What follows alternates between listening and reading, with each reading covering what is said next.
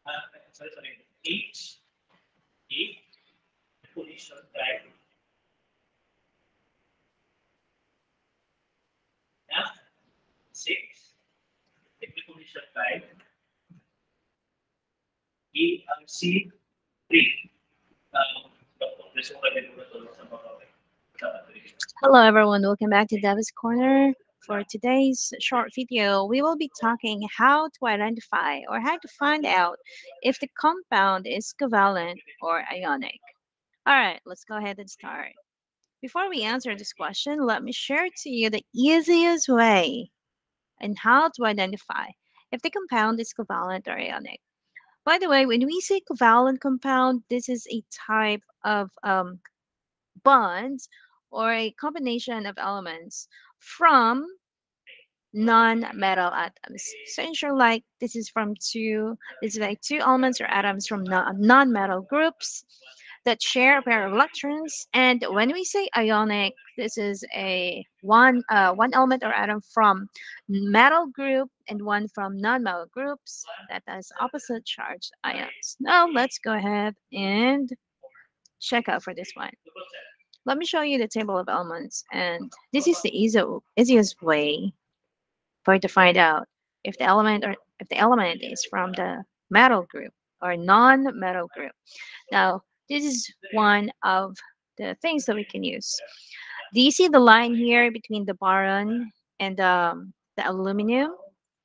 So as you can see, this is a black line. This separates the group down to tennessine from boron, silicon, um, germanium, antimony, and down to the tennessine. Going to the right, they belong to the non-metal group, including the hydrogen in here. So the hydrogen in here belongs to the group right here, which belongs to the non-metal group. And all the elements right here, going to the left, they fall in the metal group. So again, you just have to mark your table of elements right here between the boron and aluminum. Down here between the gallium and the germanium. Down here between the tin and antimony and bit down here between the bismuth and terbium and down between here the livermorium and the tennessine. So you have to mark that and all here the groups here, including hydrogen, is uh, a non-metal group of elements, and on the left here, this is a, a metal group. Okay, now let's go ahead and try to do some examples right here. So first we have the water or H2O. Let's find out. Okay, H2O, as we can see, H is hydrogen. Even though if hydrogen is located here, this belongs to the normal group. And the other, the second one we have is the oxygen. Oxygen belongs to the non-metal group, so therefore hydrogen oxygen both belong to the non-metal group. So therefore, what type of covalent are they? So the answer is if they both came from a non-metal um, group, of, of elements. So it means that they are covalent compound because covalent is a composition of two non-metal atoms. Okay. So let's write the answer. So we have here covalent bonds. Okay. So uh, covalent mean.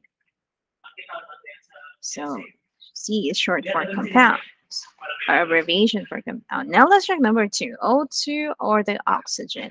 Let's find out where did this oxygen located. Oxygen is right here. So it came from a non-metal group. So basically what kind of compound if it consists only of non metal group or non-metal elements. So basically it's called the covalent compound. So our answer for number two is still covalent. Okay.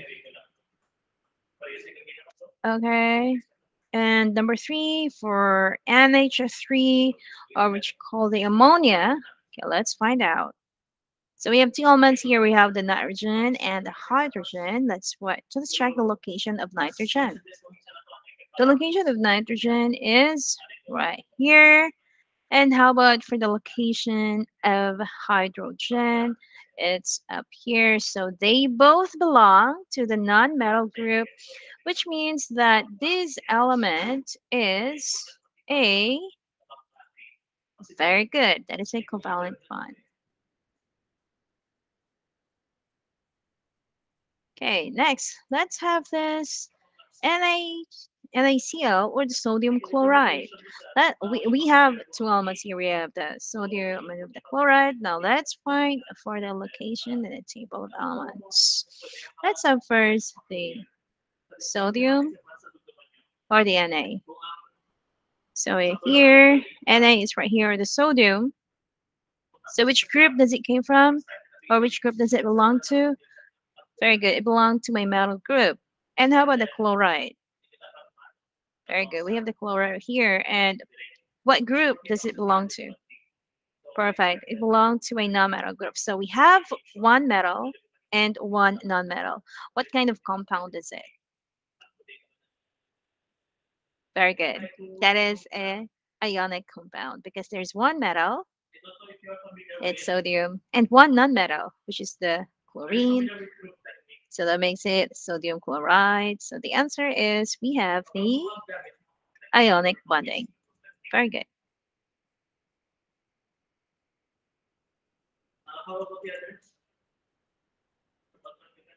Or the ionic compound. compound. Okay, last, we have the potassium bromide. K stands for potassium and Br for bromide. Now we have two elements here, and let's find out their location in the table of elements. Let's look first for potassium. Potassium is right here. Which group does it belong to? Very good. It belongs to a metal group. How about for bromide? Very good. Bromide is right here. And which group does it belong to? Very good. It belongs to a non-metal group. So therefore, if we have one metal here and one non-metal here, what kind of compound we have? Perfect. So we have an ionic compound. Okay.